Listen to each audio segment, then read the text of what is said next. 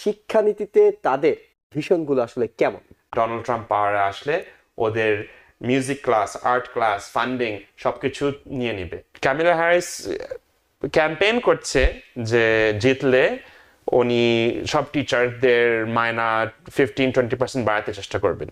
কিন্তু Donald Trump এখানে ক্যাম্পেইনের মধ্যে কোনো প্ল্যান নাই। গুজব কিংবা গসিপ বলা যেতে পারে মার্কেটে আছে যে সেটা হলো যে যারা পড়াশোনা করতে আসছে এই দেশে জি। তাদেরকে পড়াশোনা শেষ করা হলে ট্রাম্প বলছেন গ্রিন কার্ড দিয়ে দেবেন। অলরেডি আর্লি ভোটিং শুরু হয়ে গেছে। নিউ ইয়র্কে শুরু হয়ে গেছে ছাব্বিশে অক্টোবর তিন নভেম্বর পর্যন্ত চলবে এবং ফাইনালি পাঁচ নভেম্বর ভোটাররা। আগামী চার বছরের জন্য দেশের দায়িত্ব কাকে দিতে যাচ্ছেন সেটি নির্বাচন করবেন সরাসরি ভোটের মাধ্যমে। একদিকে আমরা জানি ডেমোক্রেট প্রার্থী কামালা হ্যারিস জি। অন্যদিকে রিপাবলিকান ডোনাল্ড ট্রাম্প জি। এই দুজনের শিক্ষানীতি যেহেতু আপনি শিক্ষা নিয়ে কাজ করেন আপনি শিক্ষা বিষয়ে সচেতন করেন তাই শিক্ষানীতিতে তাদের ভীষণগুলো আসলে কেমন? খুব ভালো প্রশ্ন করেছেন। Thank you for having us এই প্রশ্ন নিয়ে। যারা যারা আর্লি ভোটিং এর সুযোগ পেয়েছেন আপনারা অবশ্যই আর্লি ভোটিং করে আসবেন। আমার মাদার মিসেস নাইমা খান আজকে আর্লি ভোটিং করে আসছেন। এডুকেশনের পলিসি ইলেকশনের পুরোপুরি অপোজিট মানে একদিকে যেটা ক্যামিলা হ্যারিস ডেমোক্রাট চাচ্ছে আরেকদিকে ডোনাল্ড ট্রাম্প সবকিছু ধ্বংস করতে চেষ্টা করছে এডুকেশনে তো ওদের দুজনেরই ভিউ পয়েন্ট কিন্তু খুবই আলাদা। ধরেন, পুরা ফেডারেল একটা ডিপার্টমেন্ট অফ এডুকেশন আছে। হ্যারিস বলেছে যে যদি ও পাওয়ার আসতে পারলে এই ডিপার্টমেন্টে আরও পাওয়ার আসবে সেন্ট্রালি আর ইনফ্লুয়েন্স থাকবে প্রত্যেকটা ফিফটি স্টেটসের উপরে। যেটা রিপাবলিকানরা হিস্টোরিক্যালি খুব অপোজ করছে। ওরা সবসময় একটু বেশি স্টেটস রাইটস এর মধ্যে। তো ডোনাল্ড ট্রাম্প যদি সুযোগ পায় চলে আসতে সেন্ট্রাল যে একটা ডিপার্টমেন্ট অফ এডুকেশন আছে ওয়াশিংটন ডিসিতে তো পুরো ফেডারেল এডুকেশন পলিসি তৈরি করে ওইটাকে আইদার ইলিমিনেট করতে চেষ্টা করবেন ডোনাল্ড ট্রাম্প অথবা পাওয়ারটাকে একদম ধ্বংস করে রিডিউস করতে চেষ্টা করবে। তো এইভাবে প্রত্যেকটা স্টেটে আলাদাভাবে ওদের ইচ্ছা মতো নিয়ম অনুযায়ী করতে পারবে এটাই ডোনাল্ড ট্রাম্পের আশা। তো আপনারা ডিসাইড করবেন যদি সেন্ট্রাল একটা কন্ট্রোল চান অথবা পুরোপুরি স্টেটদের উপরে চান। Next up school choice school choice একটা জিনিস যেখানে রিপাবলিক রিপাবলিকানরা বলছে যে তোমার যদি স্কুলে এই পাবলিক স্কুলটা না ভালো লাগলে তোমাকে একটা ভাউচার দিব। তুমি এই ভাউচার নিয়ে প্রাইভেট স্কুলে যেতে চেষ্টা পারবা চার্টার স্কুলে যেতে যেতে চেষ্টা করতে পারবা। কিন্তু আমাদের লেফটে যারা যারা, কামলা হারিস, ওরা আশা করছে যে পুরোপুরি পাবলিক স্কুলের উপরে বেশি চাপ দিতে। আমরা ওরা আশা করছে যে প্রত্যেকটা ছেলে মেয়ে আমেরিকান পাবলিক স্কুল সিস্টেমে যাবে। প্রাইভেট সিস্টেমটা আমাদের পাবলিক ফান্ডিং থেকে একদম আলাদা থাকবে। কিন্তু রিপাবলিকানরা সবসময় আশা করবে আমাদের ট্যাক্স ডলার্স থেকে যদি সিটিজেনরা একটু প্রাইভেটলি খরচ করতে পারলে এটা সবসময় রিপাবলিকান হিস্টোরিক্যালি প্রাইভেট ইন্ডাস্ট্রির সাথে সবসময় আছে। তারপরে ফান্ডিং ফর লো ইনকাম আর ইমিগ্রেন্ট ফ্যামিলি আমরা সবাই ইমিগ্রেন্টস এখানে। আমরা সবাই শুরুতে লো ইনকাম স্ট্যাটাসে শুরু করেছি, অনেকজন আমরা এখনও মিডল ইনকাম স্ট্যাটাসে এখনও আছি। তো ওদের ছেলে মেয়েদের জন্য ডোনাল্ড ট্রাম্প পাওয়ারে আসলে ওদের music class art class funding সবকিছু নিয়ে নিবে, সবকিছু তুলে ফেলবে।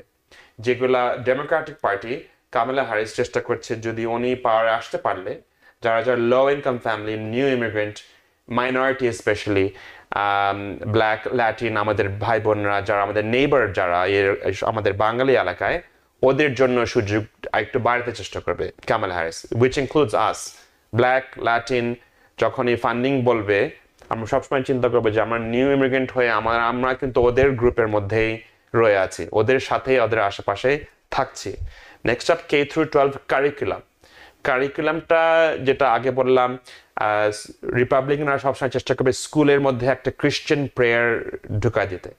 আমাদের কনস্টিটিউশন এই দেশের কনস্টিটিউশন সবসময় লেখা ছিল শুরু থেকে যে there should be a separation of church and state.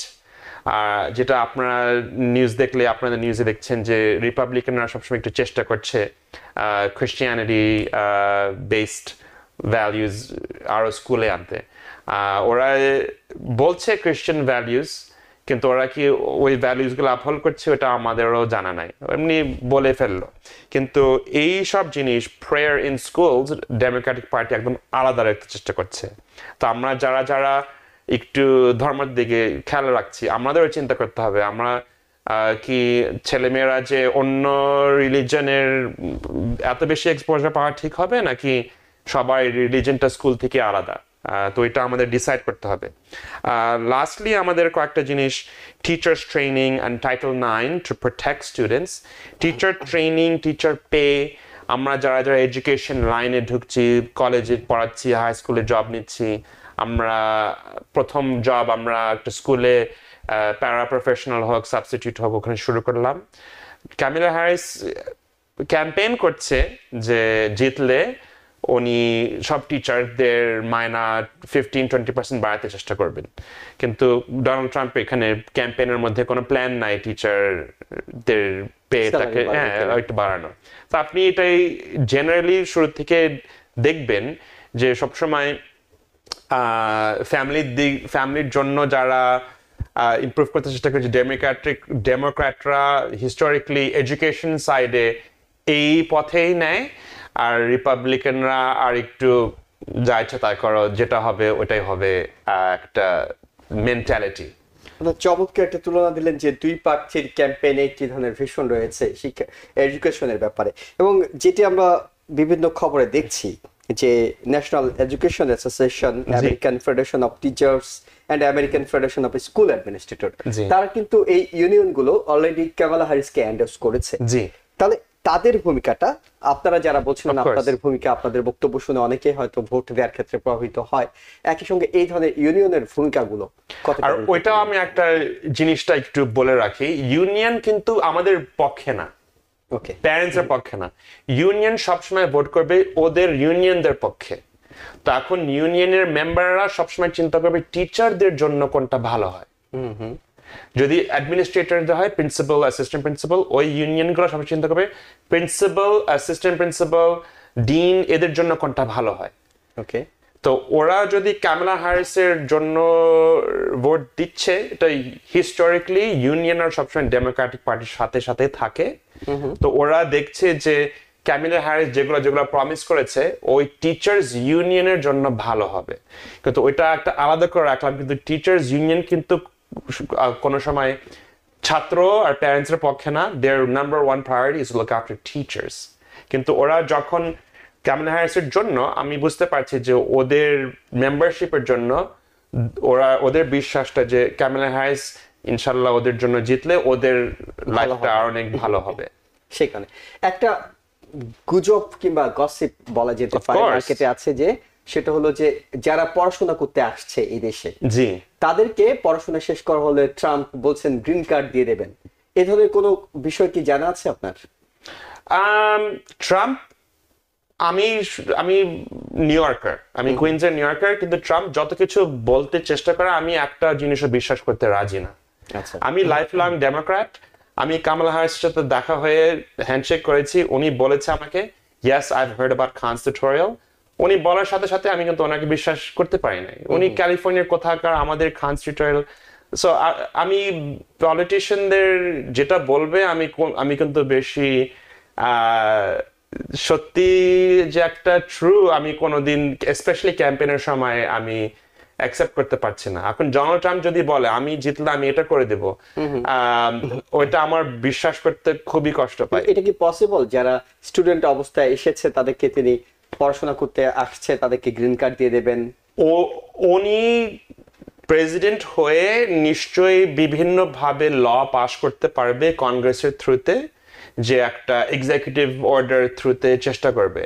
উনি এখন বলছে জিনিসটা কিন্তু উনি যত কিছু প্রথম চার বছর প্রেসিডেন্সিয়াল টার্মে করেছেন বেশিরভাগ ইমিগ্রেশনের জিনিসে উনি কিন্তু বন্ধ করেছেন বিপক্ষে শিক্ষা মানে ওরকম পিএইচডি গ্রাজুয়েট হোক অথবা নতুন যেটা আমাদের এখন মাইগ্রেন্ট টাকা হচ্ছে আনডকুমেন্টেড সো আমি কোনোদিন দেখি নাই যে ট্রাম্প ইমিগ্রেশনের জন্য আরেকটু তাড়াতাড়ি চেষ্টা করছে সবাইকে হেল্প করতে। তো উনি বলে রাখল বলে রাখেন কিন্তু এটা আমি কোনোদিন বিশ্বাস করতে পারছি না। আনলেস আনটিল ইট হ্যাপেন্স আমরা একেবারে স্পেসিফিক যদি এখন স্পেশালাইজড স্কুলের ক্ষেত্রে চলে আসি সেখানে ভর্তি পরীক্ষা শুরু হচ্ছে। পুরো প্রসেসটা সম্পর্কে আপনাকে জানতে চাই কেন স্পেশালাইজড স্কুল আসলে স্পেশালাইজড এটা স্পেশালাইজ কারণ ভর্তি হওয়ার জন্য শুধু একটা জিনিস দরকার একটা একটা পরীক্ষাতে ভালো করা। অনেক হাই স্কুল আছে এখানে ক্লাসে ভালো করবা তুমি বিহেভিয়ার ভালো দেখাবা। এটা ভালো করবা টিচারকে একটা ভালো প্রেজেন্টেশন দিবা। অনেকগুলো স্কুল আছে ওরকম ওরকম স্টুডেন্ট নিডসের জন্য। আর এই শুধু তিনটা থেকে নয়টা স্কুল আছে যে একটা পরীক্ষা দিলে ওয়ার্ল্ডের তুখার ছাত্র ছাত্রীদের পাশে তুমি পড়াশোনা করতে পারবা। তা এখন এই স্কুলগুলোর result Stuyvesant Bronx science Brooklyn tech থেকে যখন আইভি লিগ কলেজে ম্যাচ হয় এখান থেকে পাঁচ থেকে দশ গুণ বেশি ছেলে মেয়ে এনওয়াইউ কলম্বিয়া হার্ভার্ড চান্স পাচ্ছে। এখন আমাদের ইউনিভার্সিটি অফ ক্যালিফোর্নিয়া হোক স্ট্যানফোর্ড হোক ডিউক হোক ভালো ভালো তুখার জায়গা হোক এখানে এক এক- এক একটা জায়গা পেতে মাত্র থ্রি পার্সেন্ট সুযোগ। নর্মাল অ্যাপ্লিকেশন করলে ফোর পার্সেন্ট ফাইভ পার্সেন্ট কিন্তু যারা যারা Stuyvesant Bronx science Brooklyn tech থেকে অ্যাপ্লিকেশন করছে ওদের মহলের মধ্যে ধরেন টোয়েন্টি ফাইভ পার্সেন্ট ছেলে মেয়ে চান্স পাচ্ছে। তো এখন টোয়েন্টি ফাইভ পার্সেন্ট যদি ফাইভ পার্সেন্টের সাথে কম্পেয়ার করে দেখেন, পাঁচ গুণ বেশি এটাই আমাদের প্রথম একটা জাদু, এরকম জায়গায় যাওয়া। তো আমাদের এখানে খানের তিরিশ বছরে আমাদের আলহামদুলিল্লাহ পাঁচ হাজার কাছাকাছি ছেলে মেয়ে চান্স পেয়েছে অলরেডি আমার ডক- আমার বাবা ডক্টর মনসুর খান, আমার আম্মা মিসেস নাইমা খান, আমার স্বপ্ন সবসময় যে আমরা যখন নতুন এলাকায় আসি, নতুন দেশে আসি নিজের পকেট থেকে বের করে টিউশন দিয়ে ভালো এডুকেশন পাওয়া এটা আমাদের স্কোপের বাইরে। এটা ফ্রি এডুকেশন বাসার পাশে হোক সাবওয়ে রাইড নিয়ে, আর এখান থেকে তুখার পৃথিবীর টপ জায়গায় যে মানুষ পৌঁছতে পারছে, এটাই আমাদের এখানে বারো থেকে চোদ্দ মাস নিয়ে প্রিপারেশন করে সবাই চান্স পায়। যারা যারা গ্রেড সেভেনে আমাদের অলরেডি প্র্যাকটিস পরীক্ষা শুরু হয়ে গেছে। কিন্তু যারা যারা এইথ গ্রেডে আগামীকালকে পরীক্ষা নেবেন, আপনারা তিরিশ হাজার, চল্লিশ হাজার ছেলে মেয়ে, আপনাদের জন্য আমি, আমার আম্মা, আমার ওয়াইফ আমাদের প্রত্যেকটা, প্রতিটা টিচার আমরা অনেক দোয়া করেছি, আপনাদের মিলাদ করেছি গত সব গত এই মাসে, যে আপনাদের ছেলে মেয়েদেরকে সাহস দিবেন আগামীকালকে, আজকে রাত্রে ভালোভাবে সময় মতো সাড়ে আটটা নটার মধ্যে ঘুমাইতে বলবেন। আর আগামীকালকে প্লিজ যেভাবে হোক ভালো একটা ব্রেকফাস্ট খাওয়াবেন, বলবেন সাহস নিয়ে চলতে, আর ওদেরকে একদম নার্ভাস করবেন না, করাবেন না আপনারা প্লিজ বলবেন যে আমরা সবাই ওদের সাথে আছি, সাহস দিয়ে পরীক্ষা নিয়ে আসতে, ইনশাল্লাহ পরে আনন্দ শুরু হয়ে যাবে। জি, নিঃসন্দেহে। খুবই ভালো পরামর্শ দিয়েছেন। যাদের জন্য যারা শিক্ষার্থী আছে স্টুডেন্ট আছে আগামীকালকে পরীক্ষা তারা হয়তো সাহস পাবে কিছুটা বলে কিংবা অভিভাবকরা কিছুটা নিশ্চিন্ত হবে আর এটার জন্য আমি প্রতি বছর আমার বাবার কবরস্থানে যে আমি দোয়া পড়ে আসি আর আমার নিজের সালাত মসজিদে হোক বাসায় হোক কিন্তু এই সময় পরীক্ষার আগে সবার জন্য আলাদাভাবে একটা দোয়া। সবার জন্য করেছি আমরা সবাই জি সবসময় আসলে সবার জন্য দোয়া করা উচিত মূল যে বিষয়টা জানতে চাই সেটা হলো স্পেশালিস্ট স্কুলে। যখন কালকে পরীক্ষা। তো আজকে আসলে পরামর্শ দিয়ে খুব একটা লাভ নেই। কোনো না কোনো কিন্তু যারা মনে করছেন সামনের বছর পরীক্ষা দেবে জি জি জি। তাদের জন্য এখন থেকে কখন থেকে তারা প্রস্তুতি শুরু করবেন কি কি ধরনের প্রস্তুতিগুলো নেবেন? আমাকে এই বছর জিজ্ঞেস করলে আমি তো ভেঙে পড়ে যাব। আমার মেয়ে এই বছর প্রিপারেশন নিচ্ছে। আচ্ছা। তিরিশ বছর ধরে আমি টিচার হয়ে আমি সবার শিক্ষাটা আমি হেল্প করছি লিড করছি। এই বছর আমি আমার মেয়ের পড়াশোনা নিয়ে তো আমি ওর জন্য যেটা করি প্রত্যেক মঙ্গলবারে সোমবারে জিজ্ঞেস করি ও অলরেডি ক্লাস শুরু করেছে বারো মাস বাকি। ওকে প্রত্যেক ক্লাসে পরে জিজ্ঞেস করে আজ সবকিছু বুঝতে পেরেছ নাকি? মানডেতে আমি জিজ্ঞেস করি তুমি আজকে হোমওয়ার্ক শেষ শুরু করতে পারো নাকি বাবা? প্লিজ তোমার তো পরীক্ষা শনিবারে আসবে নেক্সট মান্থে আসবে। তো এরকম ভাবে শুরু থেকে আমি আস্তে আস্তে সাপোর্ট দিচ্ছি। আহ, যেভাবে ওরা আগে থেকে মিনিমাম ডেইলি এক ঘণ্টা প্র্যাকটিস করতে পারলে পরে আর খাটনি করে টেনশন করে দেরি করে ক্র্যাম করতে হবে না ক্র্যামিং যেটা বলে। সো যারা যারা সেভেন্থ গ্রেডে আমাদের এখানে নয়টা লোকেশন আমাদের অ্যাটলিস্ট দেড়শো জনের কাছাকাছি শুরু করে ফেলেছে দুই মাস আগে। গত সপ্তাহে ওদের পরীক্ষা অলরেডি প্রথম ডায়াগনস্টিক এ নেওয়া হয়েছে। আমাদের এই শুক্রবারে যখন দিওয়ালি আমরা অনেকজন অফিসে আছি স্কুল হলিডে আছে, আপনাদের সবার জন্য শুক্রবার চারটার পরে ফ্রি পরীক্ষা। যেই পরীক্ষা মিস হয়েছে যারা যারা সেভেনে এসে ফ্রি পরীক্ষা দেন দেখবেন কোথায়? ওখান থেকে আপনারা ডিসাইড করবেন কত প্রিপারেশন আপনাদের ছেলে মেয়ের দরকার। ওকে তার মানে আপনি বলছেন প্রায় এক বছর আগে থেকেই বারো মাস আগে থেকেই প্রিপারেশনটা শুরু করা দরকার। এক্স্যাক্টলি এবং এই ক্ষেত্রে আপনি ভালো একটা পরীক্ষা একটা পরীক্ষায় আপনাকে স্পেশালাইজ স্কুলে নিয়ে যেতে পারে। তারপরে যদি আমরা পরের স্টেজগুলো চিন্তা করি ভালো কলেজে ভর্তির জন্য প্রস্তুতিটা কত আগে থেকে শুরু করা দরকার কি কি প্রস্তুতি নেওয়া দরকার? ভালো কলেজে ঢুকাটা নাইন্থ গ্রেডের প্রথম দিন থেকেই শুরু। কলেজ সবসময় টেন্থ ইলেভেন্থ টুয়েলথ গ্রেডের মার্কসগুলো আরেকটু বেশি ঘন ঘন ফোকাস করবে। দ্য নাম্বার ওয়ান জিনিস হলো transcript average high school GPA তুমি কি নাইনটি ফাইভ ছাত্র নাইনটি নাইন ছাত্র নাকি এইটি ফাইভ ছাত্র নাকি সেভেন্টি ফাইভ ছাত্র ছাত্রী? আমাদের দেখতে হবে যে নাইনটিন নাইনটি ফাইভের চেয়ে বেশি না পেলে ওরা তো AP class advance placement college ক্লাসের সুযোগও পায় না হাই স্কুলে তো ওটার সেকেন্ড সবচেয়ে জরুরি জিনিস এসএটি এক্সাম ভালো করা। আমাদের এখন এসএটির জন্য ধরেন ষাট পঁচাত্তর জন নয়টা সেন্টার মিলে পাঁচজন সাতজন ছয়জন তিনজন এরকম ভাগ গ্রুপ ছোট ছোট ছোট গ্রুপ করে প্রিপারেশন করছে মার্চের এসিটির জন্য। এখন মার্চের এসিটি এখন সবাই বলছে না আমি তো আমার মেয়েকে এনওয়াই পাঠাবো। আমার তো প্ল্যান আছে আমি ছেলেকে এনওয়াই পাঠা দিচ্ছি। তো ওরা বুঝতে হবে যে এনওয়াই তো একশো জনের মধ্যে মাত্র আটজন নেয়। তো আমরা বাঙালি বাবা মা তো ফিল করছি। আমার মেয়ে আমিও তো আমার মেয়ের প্রথম চয়েস হবে এনওয়াইউ বিজনেস স্কুল কিন্তু আমার অ্যাকসেপ্ট করতে হবে ওটা যদি কোনো কারণে আল্লাহ না করুক না পায়। এখন আমার করে। কোন জায়গায় আর স্লিপ স্লিপও তো না। একশো জনের মধ্যে আটজন। আটজন। এটা তো স্লিপ না এটা ধরেন আপনি কি তো মাত্র আটজন পায় সবাই তো পাস ফেল না। সো এখন মেক শিওর করতে হবে সবার একটা ব্যাকআপ প্ল্যান আছে। আর কোনো সময় একটা কলেজ নিয়ে চিন্তা করতে হবে না। বারোটা কলেজ নিয়ে চিন্তা করবেন। এখানে হাজার হাজার কলেজ আছে আপনি বারোটার থেকে পনেরোটা ফোকাস করবেন। আর ওগুলা বারোটা পনেরোটার মধ্যে দেখবেন ভালোভাবে অ্যাপ্লিকেশন দিলে পাঁচ ছয়টা অ্যাডমিশন হয়ে যাবে। আর ওখান থেকে কম্পেয়ার করে আহ, দেখতে পারবেন যে কোনটা আপনার কাজে আসবে। সাবজেক্ট এবং কলেজ দুটোর মধ্যে ম্যাচ করে আপনি আসলে সিদ্ধান্ত নিতে পারবেন কোথায় আপনি পড়তে যাচ্ছেন। কিন্তু. মূল যে বিষয়টা আমি বলছিলাম যে প্রস্তুতিটা নেওয়া শুরু করবে কোন কোন জায়গাটাতে প্রস্তুতি নেবে তারা ভালো কলেজের জন্য? প্রিপারেশন কোন কোন জায়গায়? মানে দুই তিনটা ফ্যাক্টর আছে। প্রথম হলো হাই স্কুল জিপিএ সেকেন্ড হলো এসএটি পরীক্ষা আর থার্ড জিনিসটা হলো আমাদের বাবা মারা ভুলে যায় এক্সট্রা ক্যারিকুলার অ্যাক্টিভিটি ছোট ছোটকাল থেকে শুরু করতে হবে। কমিউনিটি সার্ভিস করতে হবে ভলেন্টিয়ার করতে হবে। ডাক্তার অফিসে যে ভলেন্টিয়ার করতে হবে হয়তো বা একটা ল অফিসে উইকেন্ডে ওদের কাগজপত্র নিয়ে একটু হেল্প করতে হবে প্যারালিগালকে হেল্প করতে। So এগুলা যে এক্সট্রা কারিকুলার আমাদের এসে লিখতে হয় ওইটা নিয়ে বাচ্চারা খুব টেনশন করে। প্যারেন্টসরা ভাবছে যে এসএটি ভালো করলে আমি এনওয়াই পাবো। ওকে বাচ্চারা জানে যে যে পাঁচ ছয়টা জিনিস বললাম সবগুলাই দরকার।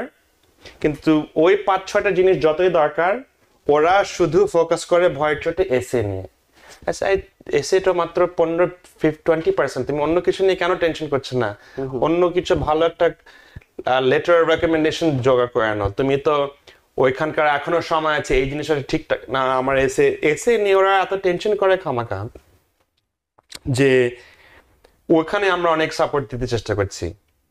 যে বুঝাইতে যে না তুমি এসেটা তো ফিফটিন টোয়েন্টি পার্সেন্ট তুমি সবচেয়ে বেশি টেনশন ওখানে করে না সব মিলে একটু- ছড়ায় রাখো সবকিছু ফোকাসটা দেখবা সবকিছু পাবা।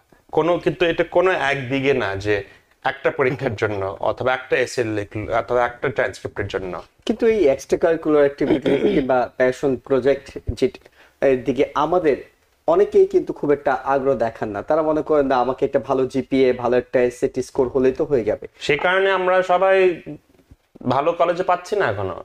মা বাবাদের তো মানতে হবে জিনিসটা। ছেলেমেয়েরাও এক বয়সে চলে আসে। পনেরো বছর ওরা জানে কি করতে হবে। কিন্তু মা বাবার সাথে সাথে যে কমিউনিকেশন করতে হবে ওইটা হচ্ছে না বাসায়। আচ্ছা সেক্ষেত্রে অভিভাবকদের জন্য প্যারেন্টসদের জন্য আপনাদের পরামর্শ কি থাকবে? সেটা জানি আমরা শেষ করব প্যারেন্টসরা সবচেয়ে জরুরি বাচ্চাদের সাথে গ্রেড নাইন থেকে আস্তে আস্তে ওপেনলি কথা বলা। এটা আমাদেরও জন্য খুব কষ্ট। আমি এই দেশে বড় হয়েছি কিন্তু আমার মেয়ের সাথে হোক ছেলের সাথে হোক ওদের লেভেলে কথা বলা, ওদেরকে ওপেন আপ করার জন্য ওটা আমারও এখনও প্রত্যেক দিন একটু একটু করে শিখছি। তো প্যারেন্টসরা যদি, ছেলেমেয়েরা যদি প্যারেন্টসে কেউ না বলতে রাজি হয়, আমি এই কলেজে পড়ব। আমি এনওয়াই যাব না, কিন্তু আমার খুব ক্যালিফোর্নিয়া যাওয়ার শখ। আমি খুব ফ্লোরিডা ভালো একটা কলেজ আছে, এটা নিয়ে আমি ওখানে পড়ব। সবার বিভিন্ন স্বপ্ন থাকতে পারে। কিন্তু অনেক সময় বাচ্চারা বাবা মাদেরকে বলতে সাহস পায় না। বাবা মাদের একটাই মাত্র চিন্তা না তুমি এখানে থাকবা তুমি এখানে ঘরে থাকবা তুমি জব পেয়ে জব। পেয়ে আমাদেরকে দেখাশোনা করবা এগুলো জরুরি স্বপ্ন যেটা আমাদের সবার মধ্যে আছে কিন্তু এত কম বয়সে ষোলো সতেরো বছর বয়সে এই টেনশন এই চাপগুলা একটু পরে বললেও ভালো হয় কারণ আমাদের এমনি কলেজে ভর্তির চাপ তো আছে কিন্তু বাবা মার যদি দুই তিন গুণ বেশি অন্য দিক থেকে ফ্যামিলি সাপোর্টের চাপ দেয় তখন কলেজের অ্যাডমিশনের ফোকাসটা তখন ওটা একটু কম হয়ে যায়। আর যে ভালো তুখার কলেজে পৌঁছার কথা ওইটার চেয়ে কম কলেজে পৌঁছে আফসোস করতে ডিস্ট্রাক্ট হওয়ার একটা সুযোগ থাকে যে আপনি ফোকাস থাকা উচিত আপনার ফোকাসটা থাকবে ভালো একটা কলেজ ভালো একটা হ্যাঁ। কলেজ বাবা মারা সবকিছু চেষ্টা করছে। আমাদেরকে ভাড়া তুমি তো একটু হেল্প করবা তুমি কোন বিয়ে করবা কোথায় আমাদের এখানে ওই বাড়ি নিবা অনেক স্বপ্ন থাকে। কিন্তু ষোলো সতেরো বছর বয়সের ছেলে মেয়েকে এই সময় না বলে একটু ওয়েট করি। পঁচিশ ছাব্বিশ হোক একটু নিজের সেটেল হোক তখন আমরা অর্থাৎ ইনশাল্লাহ আশা করতে পারব সাপোর্ট নিঃসন্দেহে একটা গাইডেন্স থাকবে কিন্তু আপনার যে স্বপ্ন কিংবা আপনার যে ইচ্ছা সেটা সন্তানদের উপর চাপিয়ে দেবেন এত আগে বয়সে না করে আমরা ওদেরকে একটু কলেজে শুরু করতে দিয়ে আগে তারপরে আস্তে আস্তে আমরা আমাদের আশাটা ওরা জানবে ঠিকই। নিউ ইয়র্ক থেকে সম্প্রচারিত টিভিএন টোয়েন্টি ফোর টেলিভিশন বিশ্বজুড়ে বাঙালির কণ্ঠস্বর।